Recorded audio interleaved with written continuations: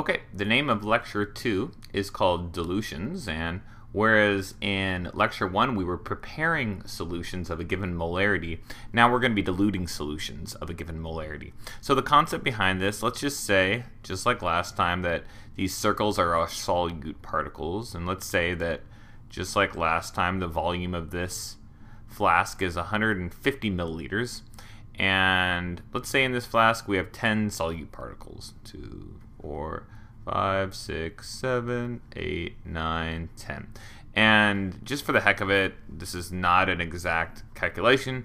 Let's just say that the molarity of this solution is 10 molar, that the solute particles is directly proportional to the molarity. It's not the way it works, but let's just say that. So remember, this M stands for moles dissolved in liters, and we would say the word molar. Now, this is going to be our initial concentration, um, our initial solution, it's going to be our concentrated solution. Um, sometimes we'll call this our stock solution. And what we're going to do is we're going to create a solution and in this case, this solution is going to have the same volume. It doesn't always have it, but it's going to have a lower concentration. So we're going to call that our diluted solution. And the idea is, is that we take a certain volume using a pipette. It's going to look like one of these long skinny things. We're going to obtain a certain volume of the concentrated solution, put it in this flask, so some volume measured in milliliters, put it in this flask, and then once we put it in, so let's say when we obtain that, that has five solute particles, two, three, four, five, and we fill the rest up with water to whatever volume we like. And this is now our diluted solution. And since in this case, this solution has half the number of solute particles, in the same volume, its molarity would be half that. So what we're going to be doing throughout this unit or this section is using an equation to figure out exactly what volume of the concentrated solution we need to create the diluted solution. And this is really how uh, primarily acids work. We always buy a stock solution of concentrated acid. Usually for sulfuric acid, it's 18 molar, and for um, nitric acid it's 16 molar and for hydrochloric acid it's usually 12 molar. And we dilute these solutions down. So usually once a year I'll have to buy um, these three stock solutions and we can use them for the rest of the year using this process right here. Um, there is a rule for diluting acids and this is a really important rule. And it's real simple. It goes like this you take acid and you add that acid to water, this is good. That's what you want to do. Okay. If you take water and you add that water to a concentrated solution of acid, what do you think I'm going to write? Bad. The reason being, this reaction, acid and water, that's exothermic, uh, meaning it releases heat. So if you add acid to water, if this water has a high specific heat and can absorb all that released heat to the environment. Whereas if we add water to acid, the acid can't absorb that um, exothermic release of heat that we experience. So this is what we want to do. We always want to add acid to water, and I'll show you how this plays out in these calculations later. Um, all right, so we don't have any definitions, but we do have an equation. And this equation says M1 V1 equals M2 V2. In this equation, M is molarity and V can be volume in liters or volume in milliliters. It doesn't have to be liters. Now, when we're using this equation, this had to be liters, but since we have a before and an after situation, kind of like Boyle's law with gases, we can keep it in milliliters as long as we use it in milliliters on the other side. Or we can keep it in liters as long as we use it in liters on the other side. And just for your own reference, normally this is going to be something that we're going to see in milliliters because that's the unit of measurement on most of our graduated cylinders. Ooh, lost my toolbar there. Okay. So eh, now, sometimes you're going to see this equation written this way. MC VC equals MD VD, where this C stands for the concentrated side and this D stands for the diluted side. Now, this is an okay way to remember to do it, um, but what I really recommend is using this equation because we're going to be using this equation for lots of things during this year, specifically a process called titration. Um, and if you memorize it as MCVC equals MDVD, then you have to memorize this new one. So why don't we just remember that the one side here, this is the concentrated side, and the two side here, this is the diluted side. Okay. So let's go through and let's do some examples. In this first example, I'm going to ask you guys here, what volume,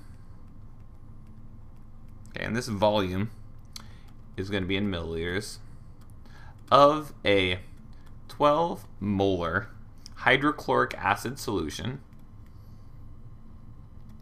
is required, okay, so this is that volume of the concentrated solution we're taking, to produce 150 milliliters. There's the new volume of a diluted solution. And this diluted solution is going to have a molarity of 0.2. And I want you, after you do this, to provide preparation instructions. I'll just say prep instructions. So the first thing I want you to notice right away is this is an acid. So we're going to be following our acid rules when looking at this. And that's something you really want to pay attention to. All right.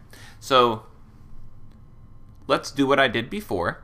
Let's write out the equation. Now, we know we have a dilution problem if you see two molarities and one volume in your problem, or if you saw two volumes and one molarity. Very simple thing to note. I see two molarities right here. So I'm going to go ahead and write my equation. My equation is M1 V1 equals M2 V2. I'm going to list out everything I've been given. Okay. M1 is 12 molar. V1 is what we're looking for. Question mark milliliters because they said what volume. M2 is our diluted molarity and V2 is the volume of that diluted molarity. So we're going to plug everything into this equation and rearrange it, and we're going to get V1, and I'm assuming you guys can go ahead and rearrange this on your own, equals 0.2 molar multiplied by 150 molar divided by 12 molar. Now notice how the molarity cancels and we're left with the unit and V1 here equals 2.5 milliliters. Okay, so that's the volume that you need, but the reason I wanted you to do the instructions is because when you do the instructions, then you get a real idea of what this means. Okay. Now we're going to have an extra instruction here because it's an acid. And remember, we have to take this step with acids. We always have to add them to a little bit of water. So let's go here and look at the instructions. The first thing here is we're going to put on gloves. Always put on gloves.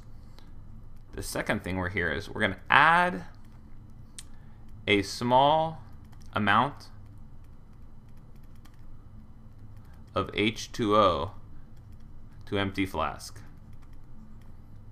to the flask that we're going to create the diluted solution in. Okay, We're doing this so that we can add the acid to the water and it absorbs all of the heat. Then we're going to obtain our volume. So we're going to obtain 2.5 milliliters of the concentrated 12 molar solution using a pipette.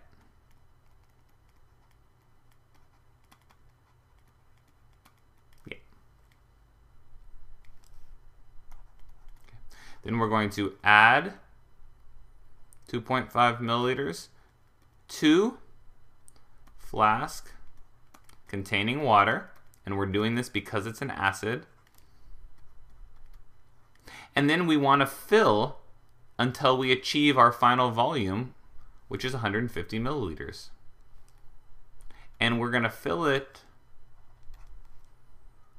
with distilled water, pure water, up to 150 milliliters. Now remember, we're saying up to because that initial 2.5 you add um, really takes up space. So we're really adding a 147.5 um, of water to achieve a total of 150 milliliters. And I should have said here that we're going to add distilled water, and DI is a term for distilled water right here. So let's do another calculation here. The second one, this one, what volume, and we're going to do it again in milliliters. So what volume of a 3.5 molar copper 2 chloride solution, blue stuff you dealt with a lot last year, is required, so there's our concentrated solution, to produce 250 milliliters, there's a diluted solution, of a 0.1 molar solution. This is our diluted solution, and I want you to provide the prep instructions just like you did last time. Okay. So when I look at this problem, I see two molarities. So I know that my equation is going to be M1 V1 equals M2 V2. My M1 is 3.5. My V1 is what I'm always looking for. That's question mark milliliters. Know how I'm always putting my units in. The College Board will knock you off a lot if you don't put units in. M2 is 0.10 molar and V2 equals 250 molar. I'm going to go through and do all that calculation just like I did the first time and I'm going to end up getting my V1 to be 7.1 milliliters. Now I'm going to provide my instructions. Okay, the first thing you should have noticed in this problem is that there is no acid. Okay. And because there is no acid like we saw here, we don't have to pay attention to our acid rule, which is right here. So let's go through, oops, sorry about that.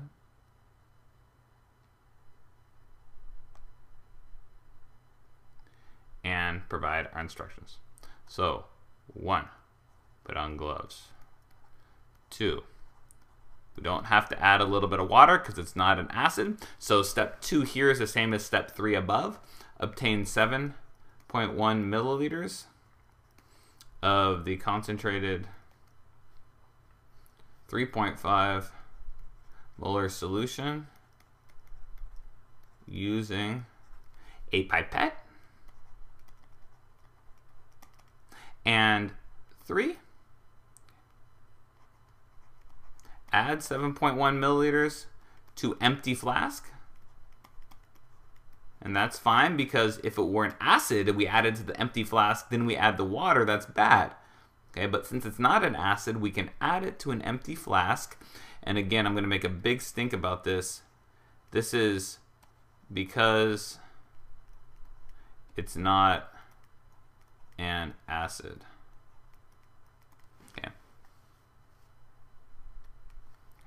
Add to empty flask. Oh, and fill until you reach a volume doesn't really matter ex the exact language you use each time of what was our final volume that we wanted 250 milliliters. Okay, so in summary, the major thing you want to watch out for when you do, do a dilution is once you figure out this value here, and this is the V1 value, you want to look and see if it's an acid. If it's an acid in your flask, you want to add a little bit of water here before you go and put that solution in to absorb that exothermic release of heat.